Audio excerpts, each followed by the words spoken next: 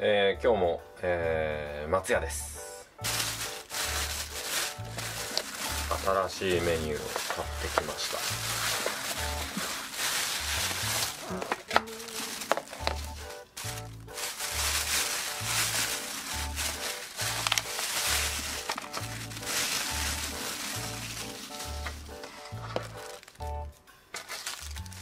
一応あのスプーンと箸どっちがいいかなちょっとうん迷ったので2つともいただいてきました。で、えー今回買ったのが9月26日火曜日10時から、えー発売中の照り焼き月見ハンバーグ定食です。早速開けてみましょう。おあ刺さった。器が刺さった。あー。あまあいいか。早く食べよう。綺麗に刺さったわ。ご飯は並盛りです。で、えー今このサラダポテトサラダもついていますが、えー最初に説明しておきますとポテトサラダはあのプラス40円でついてきます。普通はこのポテトサラダの部分がありません。あのこの生野菜の部分だけです。なので定価630円が、えー670円にポテトサラダに変えると670円になります。でお店で食べると、えー630円で、えーあの普通の生野菜のタイプでさらに味噌汁がついてきます。で販売日から1週間はライス大盛り無料サービスです。ライス特盛りはプラス40円。ちょっとサラダは、えー後回しです。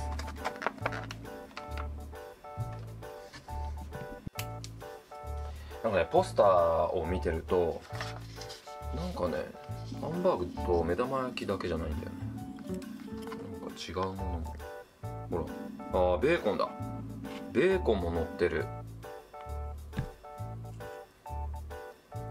だからハンバーグの上にベベーコンエッグが乗ってるって考えた方がいいのかな。まあ刻んであるけど。あ前食べたのはこういうタイプのってデミグラスとかだったけどこれはやっぱ照り焼き違うね。なんかあもう卵が混ざっちゃったけどなんかちょっと違うな。比較対象として挙げていいのか分かりませんがマクドナルドの照り焼きあのハンバーガー。あの甘いこってり感とはまた違う照り焼き。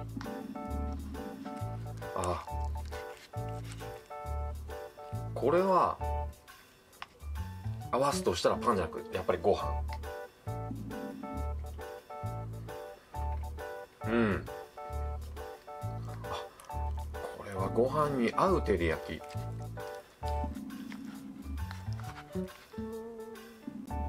れいいね。ドンドンドン。この卵の卵黄があのーまたマイルドにしてるしなんか味のこの角を取ってる感じ。それとこのベーコンはなかなかいい仕事してくれてる。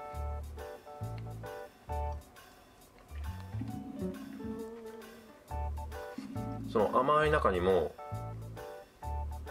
塩分というかしょっぱさをプラスして味がこうはっきりしてくる。うん。よりなんていうのかな。照り焼きの甘さが引き立つというか。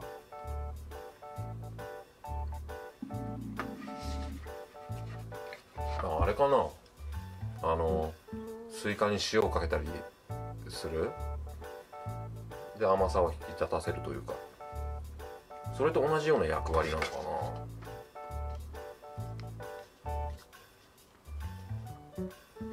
うん。ちょっとしたことなのにしたことなのにしたことだけどなんかこのベーコンがいい仕事してくれてる感じがします。あと卵もやっぱりあるとよりマイルドよりなんていうかな味に丸みを持たせてるというか。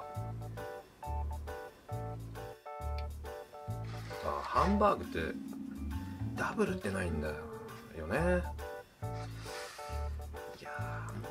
しいな。なんかこのハンバーグすごい粗挽き感ががあるというかなんかゴロゴロしてる。うん美味しい。食感がすごくいい。ああもう一個食べたい。一つじゃちょっと足りないな。最後はちょっと全部かけちゃいたいな。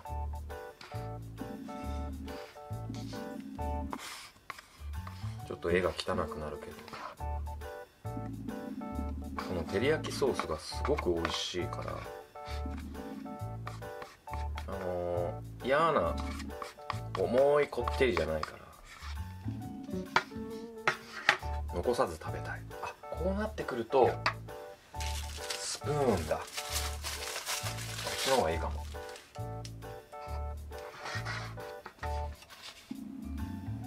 やっぱり絵が汚いな。まあいいか。美味しいんだからいいや。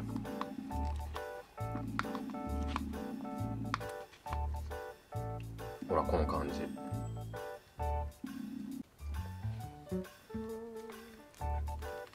タレが美味しい。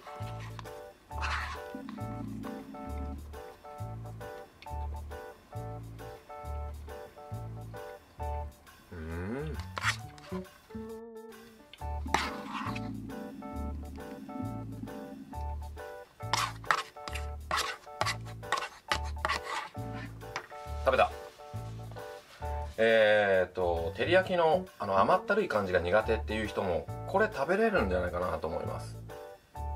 ご飯に合う照り焼き本当に。であのー卵とベーコンがいい仕事してます。これ本当に完成度の高い照り焼きハンバーグ定食？照り焼き月見ハンバーグ定食か。とっても美味しかったです。